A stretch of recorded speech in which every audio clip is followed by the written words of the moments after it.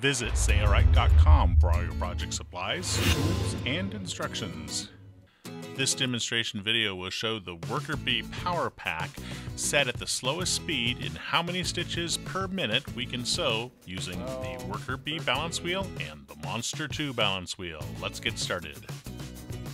So this is the WorkerB balance wheel that comes standard on this package and I'm going to turn the WorkerB down to its slowest high speed which is the, the dial all the way counterclockwise.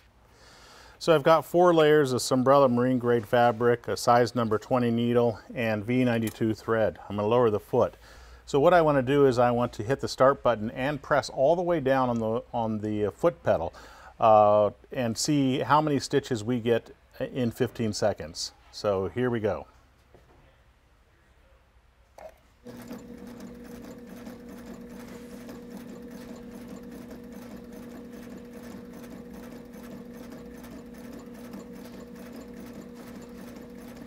Twelve, thirteen, fourteen, and 15.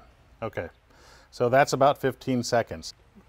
So at 15 seconds, with the WorkerB balance wheel, we have 1, 2, 3, 4, 9, 30, 31, 32, 33, 34, and 35 stitches. Multiply 35 by 4, and that's 140 stitches per minute using the WorkerB balance wheel.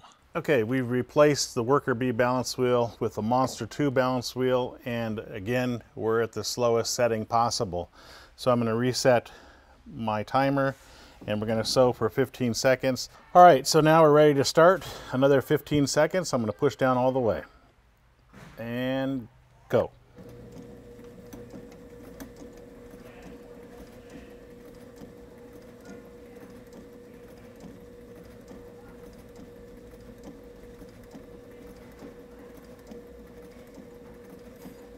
Done. So now we have 1, 2, 3, 4, 14, 15, 16 compared to 35.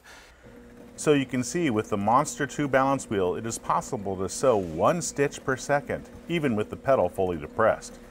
But you can sew even slower since the control still has variable speed even at the slowest dial setting. Here we are releasing the pedal slowly from fully depressed and you can see that it is truly possible to sew stitch by stitch.